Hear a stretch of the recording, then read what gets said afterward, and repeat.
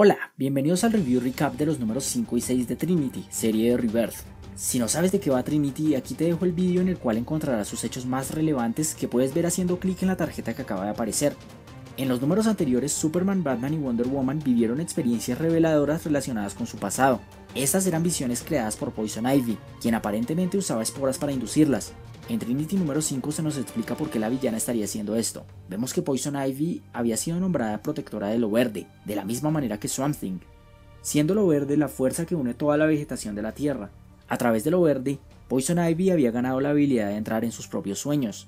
Esta consideraba que esta habilidad era un don que solo se le había dado a ella, pero eso cambió cuando en su mundo de los sueños surgió una niña, la hija de Mongul. Pamela con el pasar del tiempo se encariña con esta niña considerándola como su hija, hasta que el propio Mongul la confronta. El poderoso villano la había sacado de ese mundo, y ahora Pamela querría recuperar a su hija, y se nos revela que Poison Ivy le estaría hablando de esto a Lois. También vemos que en realidad esta no tiene idea de que Bruce Wayne es Batman, una duda que tenía en los números anteriores, pero esta por supuesto se siente extrañada de que un granjero sea amigo del multimillonario. Poison Ivy había llegado a esa granja en particular no por casualidad, ya que ésta había notado la increíble radiación solar que emanaba de allí, por supuesto principalmente por Superman. Esta planeaba usar la radiación para reencontrarse con su hija.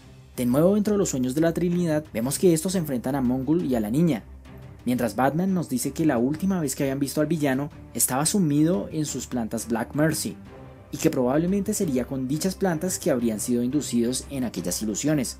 Las plantas Black Mercy usadas por Mongul tienen el poder de crear visiones dentro de los sueños de las personas que poseen. Estas ilusiones por lo general muestran la vida perfecta de dichas personas, y solo pueden ser removidas cuando la persona se da cuenta que está en una ilusión y no en la realidad. Mongul rápidamente somete a los tres héroes, pero este es detenido por la niña, quien le dice que aún no era el momento para acabarlos, pero los héroes reasumen el control. Estos pensaban que esta versión de Mongul era también una fantasía, pero el villano les dice que no era así, ya que estos estarían en su propio mundo. Este les revela que durante mucho tiempo había vivido en el mundo Black Mercy, asesinando a Superman una y otra vez, al estilo de Darkseid. Esto por supuesto lo llevó al aburrimiento, hasta que la propia Black Mercy engendró una hija para Mongul. Este último le enseñó a White Mercy cómo conquistar mundos enteros, pero ambos sabían que estarían atrapados en aquel lugar de sueños por toda la eternidad hasta que vieron la llegada de Poison Ivy, y como sabían que esta usaba la conexión entre la planta Black Mercy y lo verde para entrar y salir de allí, pusieron en marcha un plan, donde White Mercy se ganaría el amor de Pamela, de esa forma esta última debía regresar por la niña, lo que les permitiría salir. White Mercy les revela que había sido ella la que había alterado las visiones de cada uno para así ver sus debilidades. Así se nos dice que gracias a la radiación solar del cuerpo vacío de Superman, White Mercy podría entrar a la Tierra, y mientras que Poison Ivy y Lois discuten acerca de sus hijos, vemos que White Mercy toma el control de los tres cuerpos en la realidad. Este número 5 está técnicamente muy bien ejecutado, con un arte increíble y una escritura bastante sencilla de seguir, como debe ser. Me gusta que se relacionen conceptos como las plantas Black Mercy y lo verde del universo de Swamp Thing, como también ver los guiños que para esta época se hacían al multiverso de Superman. Recuerda suscribirte a este canal si te gustan los cómics de DC y si quieres ver más vídeos como este todos los días. El número 6 y final de este arco titulado Mejor Juntos empieza revelándonos que en realidad Black Mercy había creado a la hija de Mongul para que este último pudiera salir a la Tierra y no ella.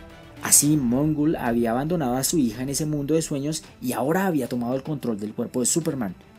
Ahora, Batman y Wonder Woman buscaban la manera para también salir de allí, por lo que le hablan a White Mercy.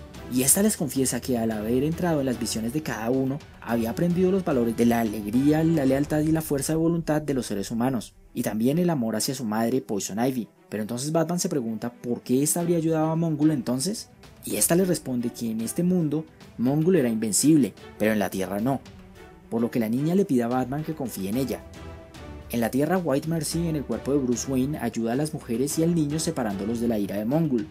Y mientras Wonder Woman carga los cuerpos de sus amigos, Black Mercy intenta detenerla poniéndole al frente una visión de Steve Trevor que le pedía su ayuda.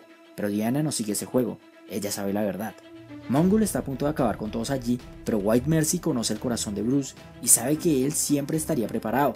Bruce Wayne traería consigo un collar con kriptonita que usa para debilitar el cuerpo de Clark, Lois retira la planta Black Mercy de su esposo y se nos muestra que su cuerpo desaparece del mundo de los sueños. También se nos muestra una emotiva despedida entre White Mercy y Poison Ivy, y esta última retira la planta de Bruce.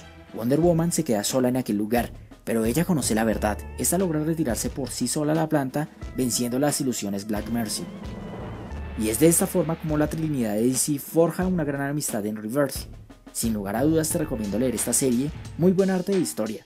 ¿Y tú ya lo leíste? Déjamelo saber en los comentarios. Y si te gustó este video, compártelo con alguien a quien también le pueda gustar, así me ayudas a dar a conocer el canal.